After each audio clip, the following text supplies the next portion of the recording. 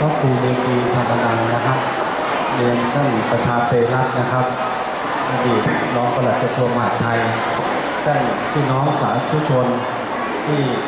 เคารพรักทุกท่านครับ วันนี้ก็ถือว่าเป็นโอกาสอันดีที่พวกเรานะครับ ได้มาร่วมกันทำบุญจุลกถินนะครับแล้ววัดแห่งนี้ก็ถือว่า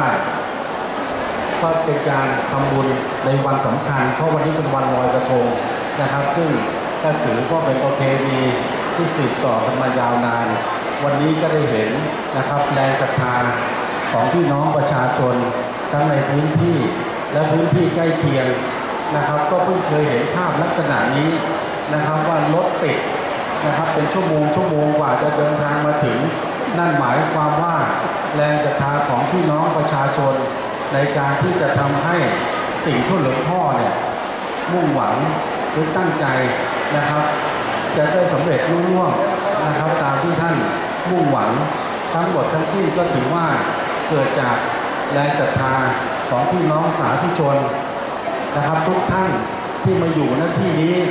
แล้วก็ต้องเรียนว่ายังมีอีกบางส่วนที่อาจจะยังเดินทางมาไม่ถึง แต่ก็ไม่เป็นไรนะครับ ถือว่าท่านมีความตั้งใจในการที่จะมาร่วมทำบุญกันในวันนี้เนี่ย ก็ขอให้ทุกท่านนะครับเอ่อได้ได้รับอานิสงส์จากความตั้งใจจากการที่ได้มาร่วมกันทำบุญในวันนี้นะครับ ก็ขอให้ทุกท่านประสบแต่สิ่งดีๆ มีความสุข มีความเจริญนะครับ มีสุขภาพร่างกายที่แข็งแรงคิดหวังสิ่งใดก็ขอให้สมปรารถนาในทุกๆเรื่องครับ